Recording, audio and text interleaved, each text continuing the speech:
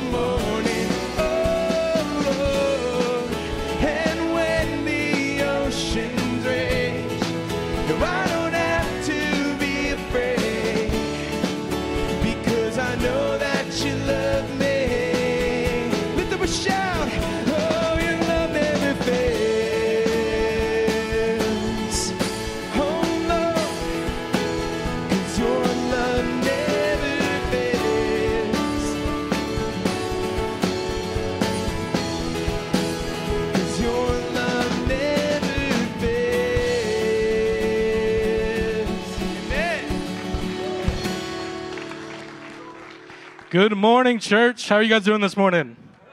You have the joy of the Lord this morning? All right. First service, they were almost awake. So it sounds like you guys are a little bit more awake. All right. So just a couple quick announcements. But first, my name is Dan. I serve here as the Connections Pastor. So if you don't know me, come come and say hi. Um, speaking of connections, we would love to get connected with you. Uh, there are cards in the seat pocket in front of you. It can show how you can get connected to our ministries. You can serve. You can see what's going on. It'll also help you connect with our church Center app. Um, if you need more information or just need help, we have an information center out in the lobby. We would love to connect with you. Now, another thing, uh, we have a bonfire coming up on October 21st at 6:45. If you could register, it is free. There's going to be hot dogs and s'mores and uh, water, and we're going to have a huge bonfire. Um, that's usually how I lost my hair is bonfires, but um, we're gonna have a great time. Um, so I hope to see you there. Uh, it'll be a blast. Uh, and it'll be 6:45 to 8:30. And uh, we have one other announcement, but our overseer Mike Tiller is going to come and share that with you. Good morning. You know, don't tell the eight o'clock service, but you guys are much better looking than them. That's all I got to say. That's well, no, I, I can't say. That's why I can say that. hey, next Sunday, uh, once a year, we do something special for our pastors, and next Sunday is going to be that day. So, what we ask that if you would come prepared, if you want to make out a card, we'll actually have some cards here if you forget it uh, for you to fill out.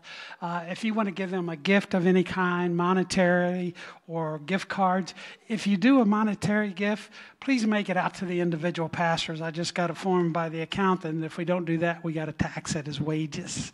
And if you know, um, Uncle Sam likes his share of everything, so that's that's that story, and I'm sticking with it. Um, and my last name is T I L L E R. So, uh, no, I'm just, you know, always need cash. You know how that is. Hey, it's good to have you with us this morning. And uh, uh, first service, just to give you an idea, those empty spaces between you, 100 people in that first service this morning. So the early birds. God bless you. All right, we're gonna we're gonna jump into prayer uh, and we're gonna jump back into worship. But would you just invite God to be a part of what He's doing this morning here at Coastal? Father God, we thank you. We thank you that we get to come here and worship you. God, we thank you that you are holy. God, we thank you that you are perfect. God, we thank you that you're amazing. God, we thank you that we get to partner with you in what you're doing in Berlin. God, we just want to invite you in this morning and just teaching of your word and in the worship, Lord God. Would you start to speak to us right now? Father, we just long to be in your presence. Father, we thank you and we praise you. In your name we pray. Amen.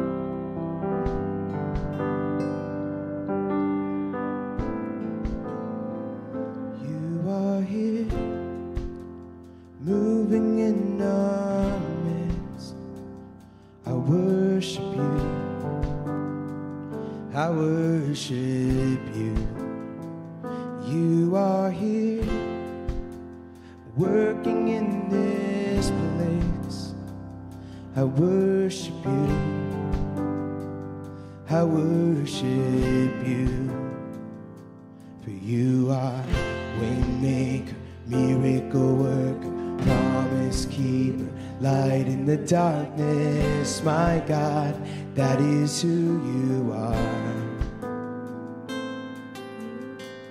Waymaker, miracle worker, promise keeper, light in the darkness, my God, yes, that is who you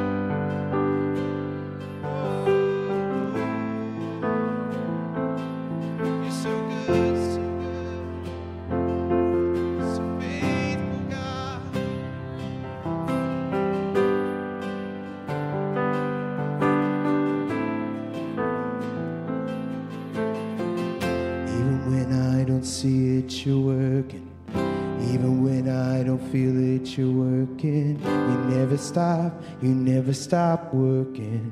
You never stop, you never stop working. Even when I don't see it, you're working. Even when I don't feel it, you're working. You never stop, you never stop working. You never stop, you never stop working. Even when I don't see it, you're working.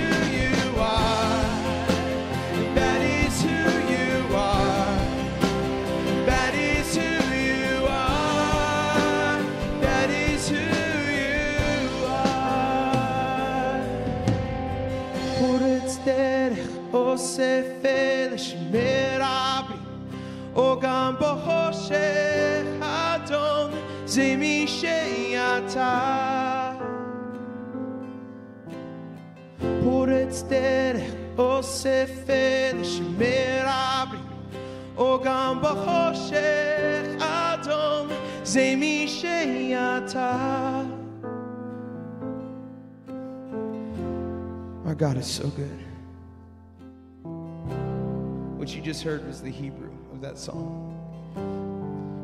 And the reason that Hebrew touches me so much is because in that chorus, the Hebrew doesn't say promise keeper, it says keeper of the covenant.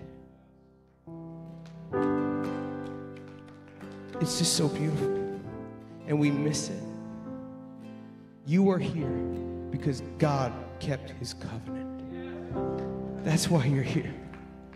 Because God loves you and sent his son to die for you so you could be here to, to be an engrafted branch into that olive tree so that you could be in God's kingdom. That's the beauty. God was faithful, He's always faithful. He's the waymaker. He made the way when there was no way for us because of our sin. He's the keeper of the covenant, the light in the darkness. That's who our God is. That's why we sing. That's why we praise. That's why we gather. Because He's so, so good. God, I just thank you. God, we give you praise. God, I thank you for being such a great God to keep your covenant with us, even when we didn't keep our end. God, you are so good. So good.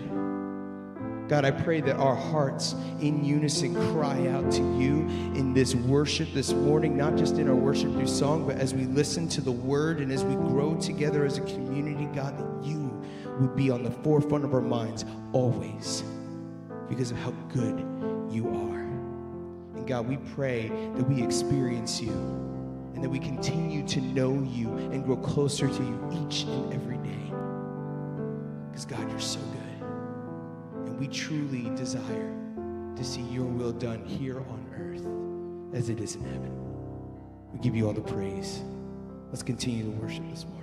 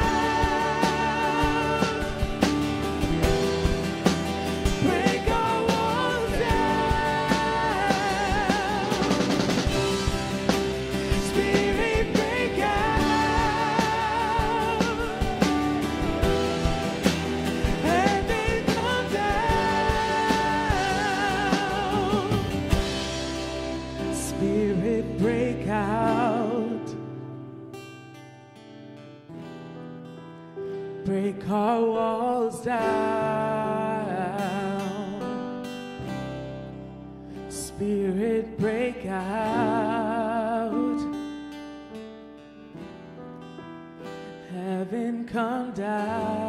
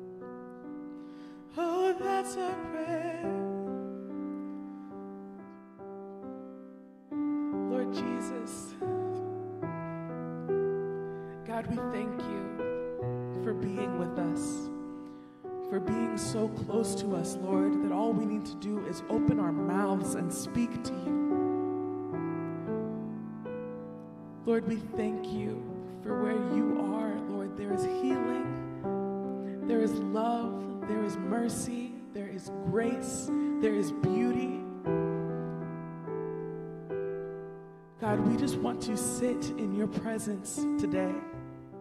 Lord, speak to us. Lord, inhabit this praise this morning. Lord, we need your presence. It is not an option. God, we need your presence. In order to get through this thing that we call life, Lord, we need your presence. And God, I pray that today you would open our hearts to what you have for us, that we would not just be hearers of the word, but doers of the word as well.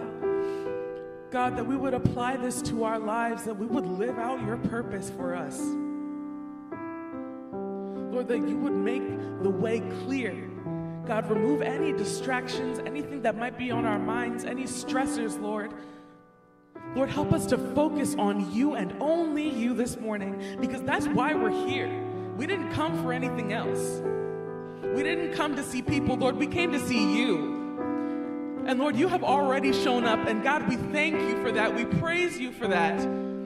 And I pray that you would just continue to move in this place, continue to speak to our hearts, continue to open our minds.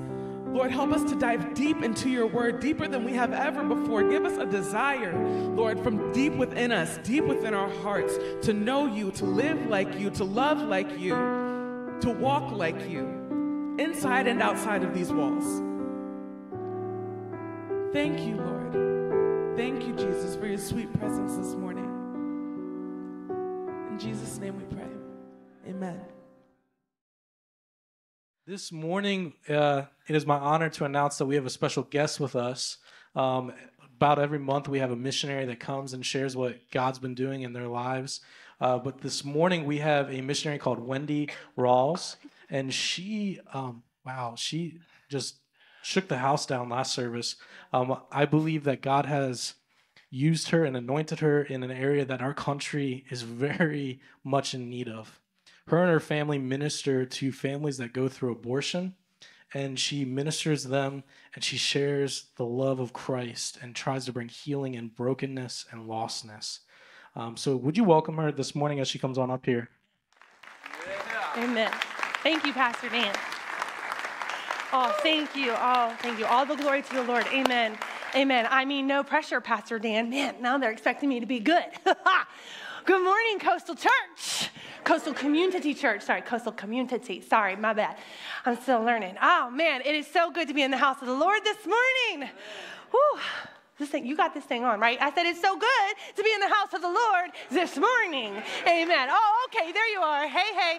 All right, now you know, they're like, oh my gosh, she's bold. I am, and I need your help this morning. You see, I don't like to preach by myself. So I'm gonna need you to be like, yes, and amen, and say it louder for the people in the back, okay? I need you to be with me this morning. Are you with me this morning? Amen. Oh, hallelujah. Yes, now we can go. I've had coffee. We're good. Okay. I just want you to know, first and foremost, that the leadership of this church is anointed and powerful, and I am so honored and privileged to be invited here today. You guys have amazing pastors and an amazing team. Amen. And it is so incredible to be a part of your services this morning and to meet the church fam. I love it. I already feel like I belong here, so it's great. Maybe we'll just stay. Um, so we, I say we because I just love to give accolades and I love to brag a little bit on my family because I cannot do this without them. So my oldest son got me a sticker. It says, I run on caffeine, Jesus, and chaos. This is why. Y'all, y'all notice something, don't you? I'm the only girl. Y'all pray for me. Pray for me. Like this is not what I ordered, but this is what I got. So I'm just kidding. I love these boys to death, and um, I would not have it any other way. My husband Tyler and I. Hey boo. Hey boo. We've been married for 12 years, and um, we you know live every day. We just live for the Lord. We don't ever talk about divorce. I bring up murder every so often, but never. Never divorced. Never divorced. And so Jackson, and so Jackson is, our oldest son. He's almost 10. He's in fourth grade. He knows it all. And, and uh, uh, Camden, Camden is almost eight. He's He's in second grade. And he has an incredible miracle story. I'll have to come back another time and tell you about Cam's story. But he was born with, um, excuse um, me, diagnosed with spina bifida and hydrocephalus. They did it in utero surgery at the Children's Hospital of Philadelphia on us. While I was still pregnant. Um, and the Lord has just done miracle after miracle after miracle in our boy's life. And we are a walking, walking uh, testimony, of faith and God's, and God's goodness. You know, we say, we say yes, yes, yes, to God, all the glory. It's been amazing, amazing. Um, um, and then our youngest son is Bryson. He's four, and he's the baby. The baby. Yeah. If yeah. you don't if know, you what, that know means, what that means, it's because you're, the baby, of, your family. family. Okay. Okay. And you are, and you raw, raw 10, 10 but two teeth. Okay. Or maybe four. Or maybe because four. it's just it's just bad. bad. That baby could be like, mommy, I want the moon. I'm like, does anybody have a rocket? Does anybody have a rocket? Like, it's it's great though, and we are just so blessed to have these three young men of God that we're trying to raise, and um, it's been an adventure. We are affectionately deemed the rowdy Rawls because you hear us before you see us and uh, you'll know when we're coming. You'll know when we're around. But I love doing this life with them. About a year ago, I transitioned into this role of missionary, and I get to actually be a missionary to the United States of America, which I just love, and um, specifically to Virginia, Maryland, and West Virginia. So it is my honor to be with you in Maryland this morning, and uh, we, yeah, we did first service. I did not know six o'clock came twice in one day. I'm not gonna lie to you. So that was a little early, but you guys are here and you are ready to rock and roll, right? Amen. I love it. I love it. Um, our founder of Save One, which is a post abortion recovery ministry that helps men, women, and families recover from the choice of abortion. Our founders are Jack and Sheila Harper. They're out of Nashville, Tennessee. And she has an intro video that I'd like to share with you today. It just gives a little deep dive into the ministry, helps you understand a little more of what we do here at Save One. At Save One, we help men, women, and families recover after abortion. And sometimes people ask, why are you helping those people that isn't it too late for them? Why aren't you trying to prevent abortion? Why are you helping those people who have already made that choice? And it's our philosophy at Save One. They are exactly who we need to be reaching in the church because their stories are so powerful. This is the greatest prevention of abortion we have the people who have the personal experience finding forgiveness through Jesus Christ, and then they're able to go into our communities and tell that truth. They then become these walking billboards of grace and mercy for Jesus' forgiveness. It's exactly what happened to me. I spent seven years after my own abortion hating myself. I had an attempted suicide. I became reliant upon drugs and alcohol just to get through the day. But then I found my way to a Bible study, much like the one Save One offers, And that is what changed my life. I was introduced to a Jesus that forgives the sin of abortion, and I haven't been able to be quiet about it since then. What we're finding at Save One are these men and women who come through the Save One program, they then turn around and become the loudest voices that we have. It, they're an unstoppable force almost. When Jesus lets you lets you out of this self-imposed prison, it's like you you're compelled to tell people what he has done. The Bible tells us that in Revelation 12:11 we overcome the enemy by the blood of the lamb and the word of our testimony. That's how we know abortion recovery is the key to ending abortion in our country and around our world. Because when we start telling what God has done for us, we become more powerful than the enemy. And so that's absolutely incredible to see. Plus, Proverbs 18:21 says, "The power of life and death are in our tongue." So when we start taking up this language of life, we become these powerhouses speaking God's word and changing the atmosphere. It is absolutely incredible. We we do this work through three Bible studies that we've written. The women's Bible study, we started having success. Men started asking to go through. My husband and I, Jack, wrote the men's study, and then we started having grandparents and siblings want to come through, and we wrote the ripple effect. And so these three studies mirror each other. So a pregnancy center can offer one abortion recovery Bible study and invite anyone who is abortion wounded. The church is the first place we should turn to for help, not the last. It's time that the church rise up using the Save One program and do something about the abortion issue. The statistic is that one in every three women of childbirthing age have had an abortion. What this tells us at Save One is that one in every three men have lost out on the opportunity of fatherhood. And there is definitely a ripple effect. There is someone else who has been hurt or, or connected to this abortion choice in some way, shape, or form. And my friends, the truth of that statistic today is that truth is, is that it's not just in your community, it's also true right here inside of the walls of the church. And there are broken and hurting people all around us. And it is our job, it is our opportunity, it is our assignment to show them a God who is love to show them a God who is full of grace and mercy and who can forgive, restore, and redeem. And hallelujah. Anybody in the house this morning hearing me today? Come on, church. It's our job and it's our opportunity to start bringing those people in and showing them the love of Jesus. In particular, I get to work with those who have chosen that road of abortion, but there are so many other things, and you can fill in the blank for whatever that might mean to you or might mean to your family. Might mean to your neighbor, to your coworker, to your enemy. but today, I don't want to talk about the politics, the left, right, uh, his choice, her choice, left, right, that, blah. Mm-mm. That's not what I want to talk about today. Because I feel like that there's a deeper issue inside of our big C church. I feel like until we can address the, the ideology of spiritual breakthrough, that we as a big C church are never going to be able to see the transformation that needs to happen in some of those who are sitting right here amongst us.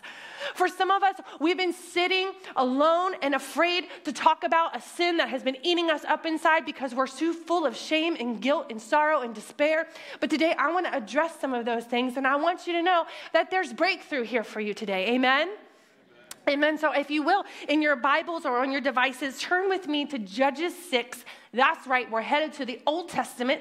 And in Judges 6, we find the origin story of our friend Gideon. Many of you know him as the fleece guy, right? Like he is the one who's like, Lord, are you sure? And Lord's like, yes. He's like, Lord, are you double sure? And Lord's like, yes, yes. And he's like, Lord, one more. Yes, I'm sure. That's Gideon, okay? So you may know him or not. But we're to find Gideon at, right at the origin of the Israelite nation, his making their homes, okay? And what we read in the first six verses is the Israelites did what was evil in the sight of the Lord. So the Lord handed them over to Midian seven years, and they oppressed Israel. Because of Midian, the Israelites made hiding places for themselves in the mountains, caves, and strongholds. Whenever the Israelites planted crops, the Midianites, the Amalekites, the mosquito bites, and the Kedemites, and all the ites came and attacked them. They encamped against them and destroyed the produce of the land, even as far as Gaza. They left nothing, no thing for Israel to eat, as well as no sheep, ox, or donkey. For the Midianites came with their cattle and their tents like a great swarm of locusts. They and their camels were without number, and they entered the land to waste it. So Israel became poverty stricken because of Midian, and the Israelites cried out to the Lord. So, these first couple verses, I just want to unpack those just for a minute. I want to show you a couple key things. Because the Israelites, how I envision it, is that they have these beautiful gardens, right? They're full of ripe produce. They have this big, huge barn in the middle. It's got all the livestock, and the cattle are, are mooing in the background, right? Like, y'all hear it? You feel it? Yeah? No poop. Don't do the poop smell. Don't imagine that, okay? No, everything but that. No manure. And then over on this side are like fields of grain. They're just like swaying in the wind, right? It's beautiful, man. And they've poured their whole life into this. This is who they are. They're farmers. They're people of the land. Everything they do is for their family. Anybody identify with this, right? Their blood, their sweat, their tears, everything goes into this. And they're constantly pouring in, constantly pouring in. And what we read in Judges is that at the very last moment, right before it's time to collect on that harvest, right before it's time to get all the goods, what happens? The enemy comes in. He's like, nope. And I'm like, hold, hold on a second. I have been there. Have you been there? I have been there. Because I I prepared Thanksgiving dinner. And I spent two weeks making 14 pies, 28 casseroles, and a 42 pound turkey, and it was gone in like eight seconds, you know? like, that's what it feels like. Has anybody been there? No? No Thanksgiving dinner preppers in the room? It's getting close. Y'all better get your pumpkin now. I'm just telling you, it's getting close. And I'm like, Lord, have mercy on my soul. These stinking Midianites done come in and taken everything. I can identify with that. But on a more serious note, y'all are not laughing with me today, okay? The, uh, the first service laughed at that, so y'all just gonna have to give me a second to regroup. I thought that was funny. Y'all didn't think that was funny. It's fine. They're like, we take Thanksgiving very seriously here in Maryland, okay? I don't know what y'all do in Virginia. You're allowed to laugh in church. We should have prefaced with that, Pastor Dan. We forgot that part. You're allowed to laugh in church. I think, I think that's a good thing. I think it's a good thing. But the Midianites would come with all their friends, right? And they would take everything. The, the, scripture says there was no thing left. They took all the cattle, all the livestock. There's no way to work the land. I mean, they even took the grapes off the vine. So I do believe that when they came in, that the Israelites, they were shook, right? I mean, it was like that when they ran to hide, when it says they made hiding places for themselves, I understand that. I get that. I'm like, yeah, I could see why. These, the enemy was ruthless. And then it also says in, in verse one, did you catch for how long that was? The oppression was for seven years. Now, I'm okay with the first year, right? Because like they didn't know better. It was like, surprise, we're here to take all your stuff. Year two, they were like, oh, again? Ah, okay. Year three, like, come at me, bro. Like, I'm ready to fight. Are you kidding me? Seven years? I mean, bam, bam, bam, bam, bam, bam, bam. Year after year after year after year after year after year, where I've poured my life into something, and the enemy's just gonna come and take it away?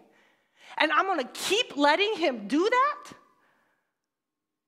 I'm gonna keep letting him time after time after time after time after time after time after time. Seven, whoo, seven years. And then in verse six, they're like, oh yeah, Lord, now that we are so impoverished, we have nothing. We can't even trade with other countries or nations because we literally have nothing to give, nothing to trade. We're starving. We're so hungry. We're so angry. We're hangry. And ain't no Snickers going to solve this problem, Lord. So, Lord, help. Right? Like that's where we find the Israelites. And I love that the Lord's answer to them is just a good old farmer boy. He's just an average dude, and his name is Gideon. And we find Gideon in verse 11 that he was threshing wheat in the wine vat in order to hide it from the Midianites. Now, I know that most of you are probably really familiar with threshing wheat. So, all of this next part is just for me. It's just a refresher. Don't worry, okay? but for those of you who have never threshed wheat before in your life, like myself, I had to Google this. I had my Google help. Uh, so here's the deal. When you thresh wheat, I actually have a picture. You need a large, flat surface and it needs to be like really hard and you take it and you use your livestock and it's a community style event and you come and, and they break apart the, the, the grains of the wheat and then you need access to the wind because you'll throw this up and i have a picture of them throwing it in the air and the shaft will blow away and the grain will fall to the ground and that's how you collect it. So you need a large surface, flat and hard, community style event with access to the wind. You need those four things. Okay? The scripture says that we find Gideon in a wine vat, which looks like this small, walls on on sides, curved bottom, no access to the wind. Now, okay, we got to give him a little bit of accolades, right? Everybody else was like, run for your life. And Gideon was like, yeah, but I mean, I do, I got some wheat, so maybe if I stay, I can maybe try to, to make something out of this little bit that I have right here. So we got to give him like a little bit of accolades. The problem that I find is that he was using the wrong tools in the wrong place at the wrong time on his own strength. Come on, church. Are you hearing me this morning? Are you with me this morning? I know it's hard to talk when I'm doing heart surgery on you, but I need you to be with me. I need to hear you. Are you with me? Okay? Because he was using what? The wrong tools. He was using the wrong place, and he was using the wrong time on his own strength. And how many times have I tried to do it on my own? And I, I'm, I'm trying on my own timing, on my own envisioning of what I think it should be, of what I think I should do, of how I think it should go. But I'm finding myself in the wrong place at the wrong time with the wrong tools on my own strength, failing. Failing. And guess what? We're hiding. We're hiding in a pit because we think the enemy can't see us in here. We think we're doing something, well, it's comfortable in here. I mean, it's a little small. Nobody else can really fit in. I can't really let anybody else in this space, but it's okay because I'm fine, it's fine, everything is fine, and I've got it going on right here. Just use, I mean, that's not the right tool, but, I, but it's working, it's okay. I mean, I'm not gonna have much, I'm not gonna be able to produce a whole lot, but I can produce just enough. And, and just, you think you're hiding from the enemy? That's right where He wants you. And I want you to know today this isn't supposed to be encouraging to you in verse 12. The Lord sees you, He knows you. He hears your heart's desires. He knows every prayer you've prayed. He's seen every tear you've cried.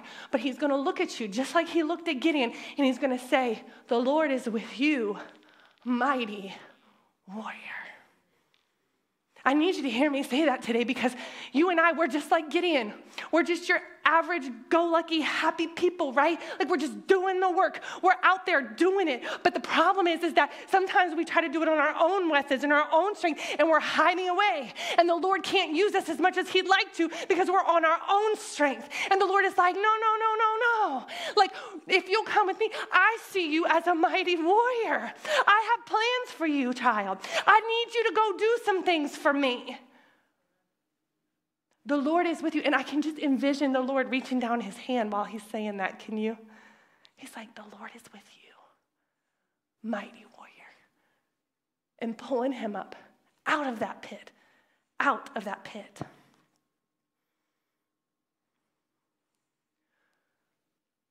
Whatever your weakness, habit, addiction, attitude, choice, it doesn't matter. It is not worth hiding away. It is not worth using your own strength.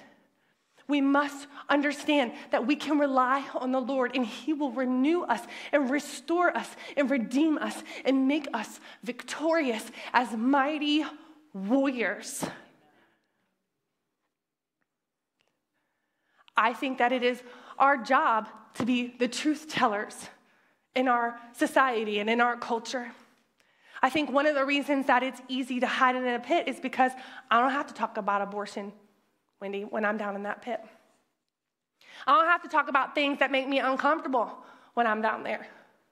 I don't have to deal with the emotions and the shame and the guilt and the anger and the sorrow that eat me up every day. I don't have to deal with all that when I'm in there. When I come up out of that, I'm gonna have to deal with those things. I'm gonna have to walk in that truth of who, of the decisions I made, of the things I've done, of things that are haunting me when I can't do that. Can I tell you a story today? Can I tell you a story of a, a young girl who grew up in church, whose parents are pastors, right? Like she's a pastor's kid. She grew up. Y'all, did anybody here remember Sunday night church? Y'all got Sunday night. Anybody got Sunday night church in their roots? Like Sunday night, yes, in the back. Hallelujah. We y'all, we somebody gets slain in the spirit on Sunday night. I mean, it was like, are these dead people? No, they're just in the spirit. Hallelujah. And um, this young girl, man, she had it all. She had loving parents.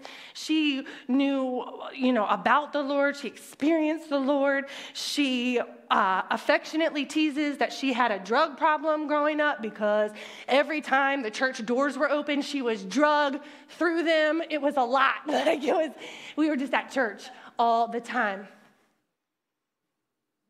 And uh, this young girl, who is me, had this moment at 17. You know, in high school, obviously, I had it all together. And so uh, I remember going to my parents and be like, listen, um, this whole, like, you have to serve God every day, oh, that, it's just really, it's eating up a lot of my time. I can't really prioritize that right now. So I'm just I'm just gonna move that to the back burner because, like, I believe in God. I believe in Him. Like, he, I believe He's there. But the daily relationship, like, I cannot commit to that. Like, that's a lot. okay, can, if your kid comes to you and says that, like, if any one of my three boys come to me, I'm like, sit your tail down, get some fivefold ministry up in here. What is wrong with you? Right? Like, what in the world?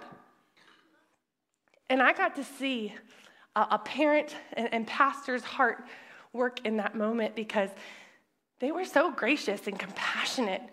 And they were like, Wendi, we cannot call you into ministry. We cannot call you into a relationship with the Lord. Honey, that is something you have to choose on your own. That is something that you have to invest in. You can't get in on our relationship and get in on what we've done and on our good merits and our, you know, 25 years of church ministry. No. You have to make that choice. Now, understand, we will be praying for you, and you know the power of prayer, and you've seen it firsthand what it can do. So, watch out, right? Don't ever stop praying for your kids. Don't ever stop praying for your kids. J.G. Stipe has a quote. He says, Faith is like a toothbrush. Everyone should have one and use it regularly, but you should not try to use someone else's right? And that's what faith is like. It's exactly what they said to me. Like, when? You got to find it for you, for who you are. I did not take heed to those words. I was like, eh, whatever. Okay. Remember, 17? My low point was 19 years old, sitting alone, broken into a million pieces college, Christian college, dorm room, bathroom floor, holding a positive pregnancy test in my hand. Completely unwilling to take on the responsibility. Unmarried. I don't know how it works in Maryland, but in Virginia, you don't get pregnant from eating too much Mexican food. You read between the lines there? Mm-hmm. So there are some things in Wendi's life that is not lining up with the Word of God.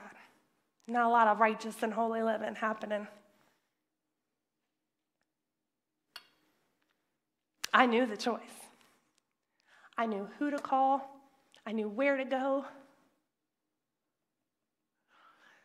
But I couldn't get past the thoughts of what would they think? what would they do? How would they treat my family? How could I ever show my face again? How was I supposed to take a nine month walk of shame in front of a church family? How was I supposed to do that? How was I ever supposed to survive that? And I let those lies speak louder than the truth of what I knew that God wanted me to choose life. And I just couldn't wrap my head around that. And a local women's health clinic told me that I had choices. And that I, would be a quick and easy solution to this problem that I had.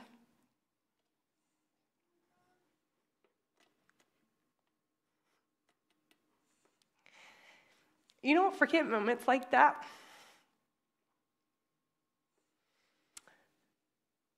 A moment where you, you take a pill that causes you to have a miscarriage at five and a half weeks pregnant. And that solution is what launches you into a self imposed prison of guilt, anger, shame, depression, and sorrow for 15 years. For 15 years, I felt unworthy. For 15 years, I couldn't see past this choice, this solution, this quick and easy thing that was supposed to take all of it away. Is what launched me into this world of despair. I remember in my early 20s, I was teasing with them in the first service. I was like, I'm pretty sure there's still like tear and snot stains at the altar where I rededicated my life to the Lord. Like there was so much happening in those moments. And in my early 20s, I was like, okay, Lord, I want to do this daily thing. Like, I want to serve you. I want to follow you, whatever it is to make like this, ugh, go away. I can't do it anymore. And I knew he had forgiven me. Like, I'd asked for forgiveness, but like, there was still just something that was holding me back. And it was just really easy to hide in that pit. It was really easy not to let anybody in that close. It was just really easy just to be like, mm, I'm just be right here. I do remember the, one of the, the first verses that I memorized coming up out of all of that and rededicating my life to the Lord was Psalms 23 6. Are you guys familiar? That only goodness and faithful love will pursue me all the days of my life, and I will dwell in the house of the Lord for as long as I live. Amen. And I knew that, like, He wanted to restore me, He wanted to redeem me, but I didn't feel worthy. I just, I didn't feel like it was something that I deserved. I felt like I was supposed to live in the pit. I felt like that was like, no, like you, I should never be able to feel joy again after what I did. I should never be able to feel peace again after what I did. I should never be able to walk in truth and forgiveness after what I had done. But I want to tell you today that whatever your struggle is, whatever you've walked through, whatever that habit is, whatever that addiction is, whatever that attitude is, the Lord says, I am with you, mighty warrior. And He says, You don't have to live in the pit anymore. You don't have to be afraid anymore. He said, I am with you. I am with you. And I want to encourage you today that He's holding out His hand. I want to know if you'll take it. I want to know if you'll take it.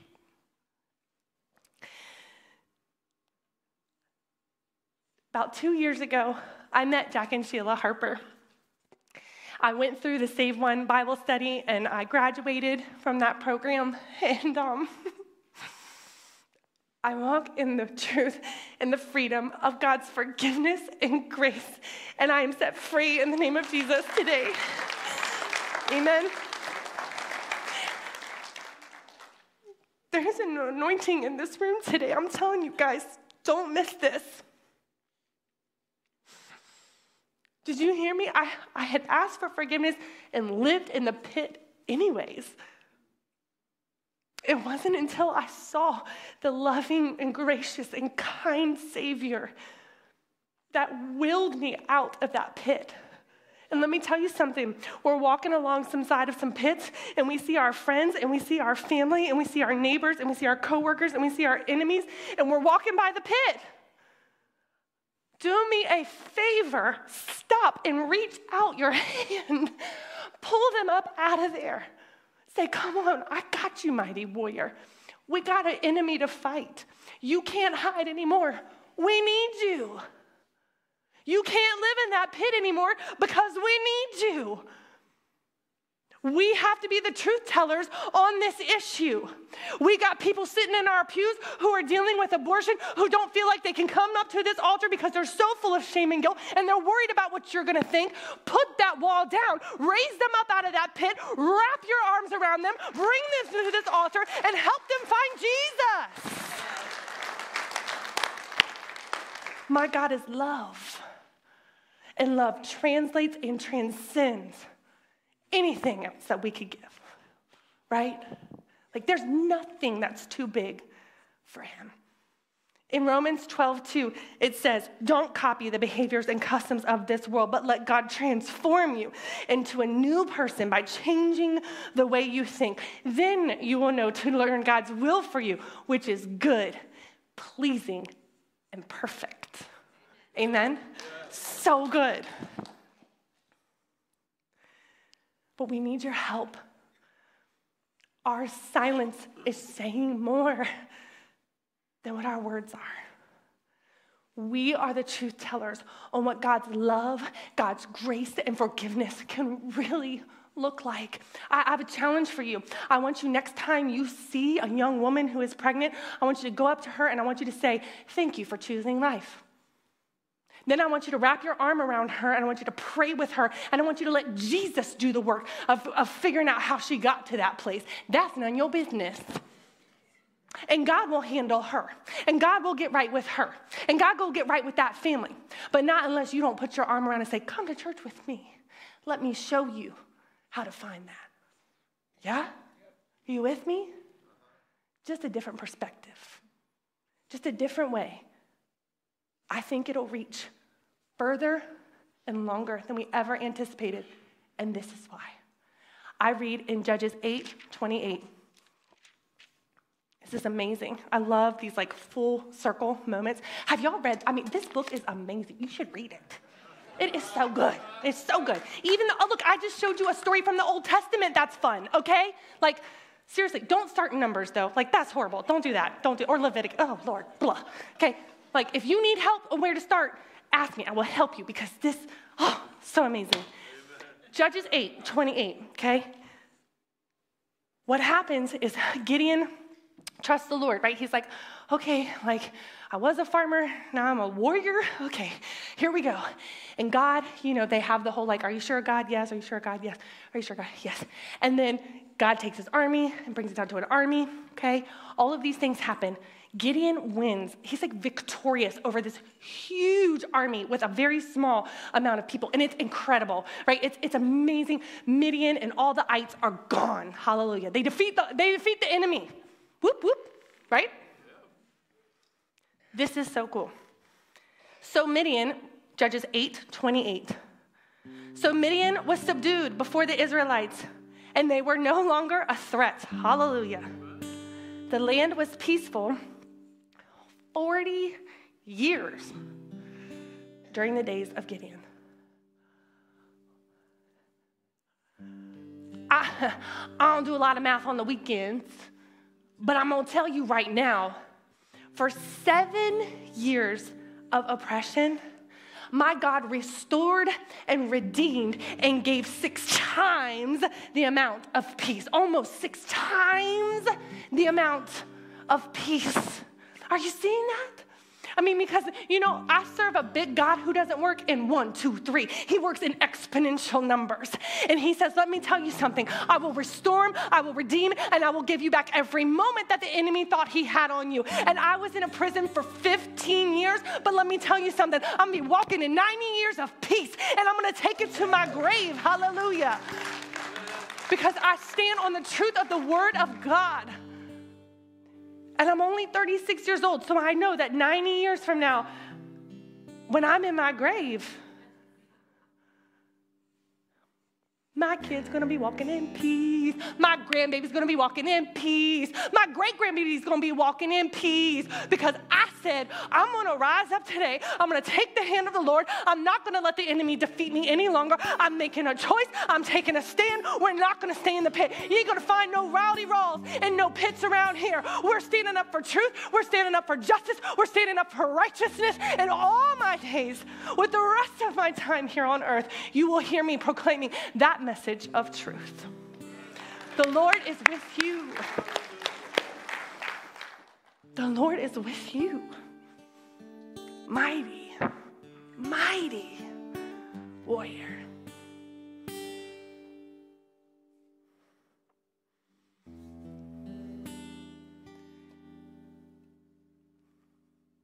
What are you hiding from? Close your eyes for a second. In your mind, what do you see? Do you see walls all around you? You're not letting anybody in. There's no room for anybody else in there. You got too much shame and too much guilt rubbing up against you. The depression and the fear and the anxiety rule too much, press too hard, throw you down too deep. What do you see? Do you see just an average person who's working so hard, trying so hard, pouring their, their life into everything, and at the last minute, just taken away? It just feels like the enemy comes in at every moment and steals everything we've tried to ever do. Would you cry out to the Lord today because his hand is right there? And he said, I am with you. I am with you, mighty warrior. You may not see yourself as a warrior today, but I'm telling you, that is your assignment, that is your role, that is who you are called to be. You need to rise up and walk out of that pit in truth and discovery today and find out who this Savior is that wants to call you a mighty warrior. A mighty warrior. Father God, I pray over each and every person in this place today. Lord, I ask that you would bring awareness and truth into these moments. Father God, Lord, we feel your spirit. We know you are working. And in these final moments of this service today, Lord, would we just take time to, to reflect and understand, God, where are we? What are we doing? What is happening? We don't have to live in this way anymore. God, God, I heard her say that, but I'm not quite sure. I heard her say it would be hard, but, but it sounds like there's some other people that might be willing to take my hand. There might be some other people that are willing to come alongside of me. Today, I challenge you don't live in the pit anymore. Rise up. The Lord is with you, mighty warrior.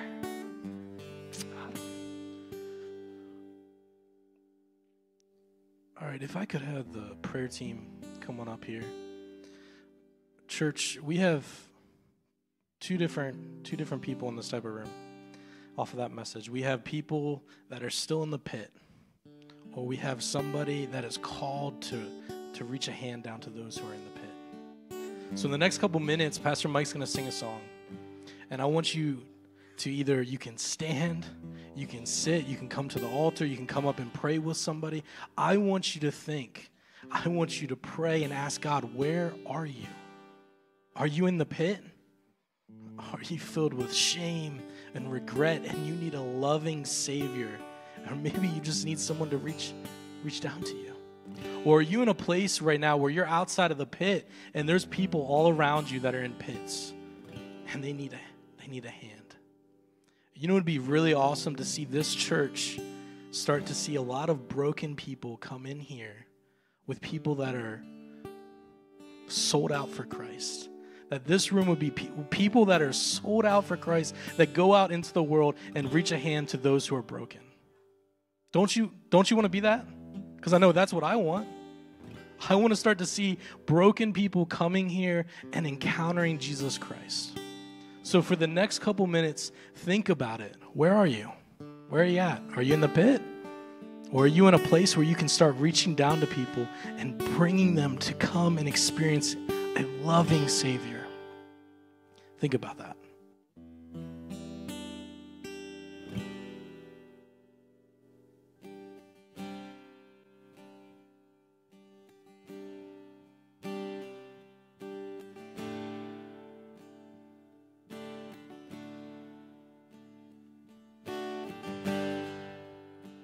God of all the universe,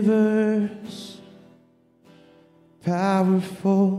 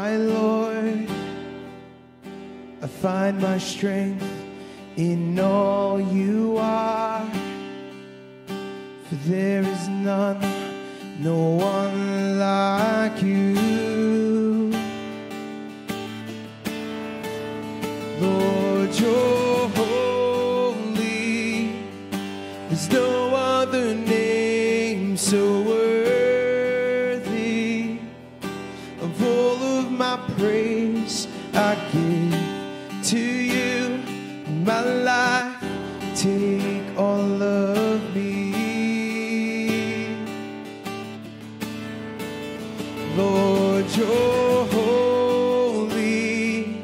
Now there's no other name so worthy of all of my praise. I give to you my life. Take all of me. Cause my God, you reign heart proclaims your majesty. For you alone are King of kings, my love, my life. All that I need is my God, you reign over me. This heart proclaims your majesty.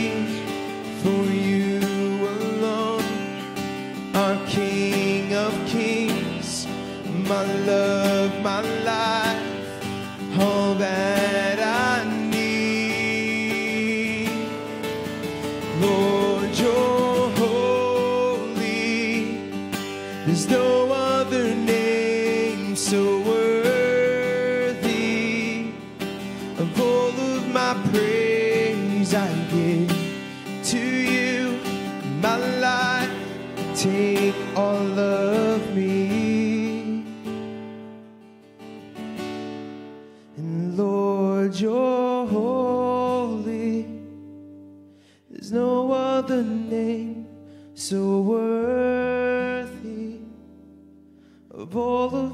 praise.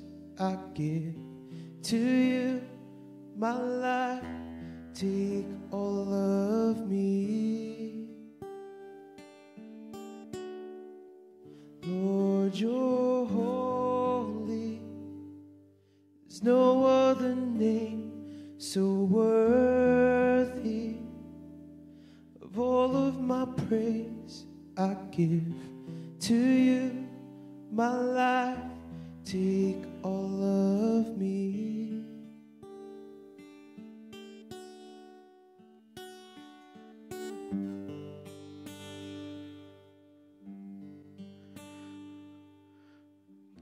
Would you all stand with me this morning? We're going to keep an atmosphere of prayer in this room. So if if you're here and you're you need more time to pray, please feel free to continue to pray in here. We want to keep an atmosphere of prayer. But on your way out, I just want to let you know we have ushers at the door. They're going to be collecting money 100% for missions. Uh, it'll go to missionaries like Wendi.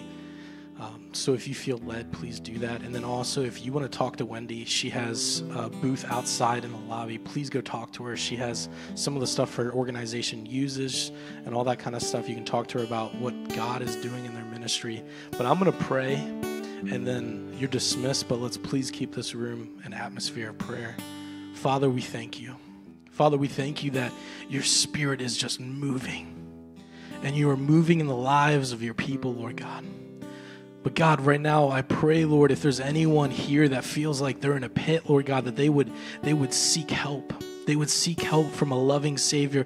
God, that people would notice that they're in a pit and that us as believers would come alongside them, that we'd pray with them, that we'd lead them to a Savior that is so merciful and so gracious.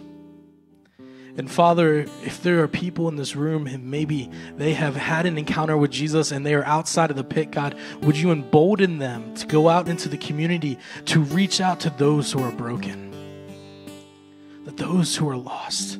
And Father, that we would see broken and lost people come to meet you in this place. Father, we thank you and we praise you. In your name we pray.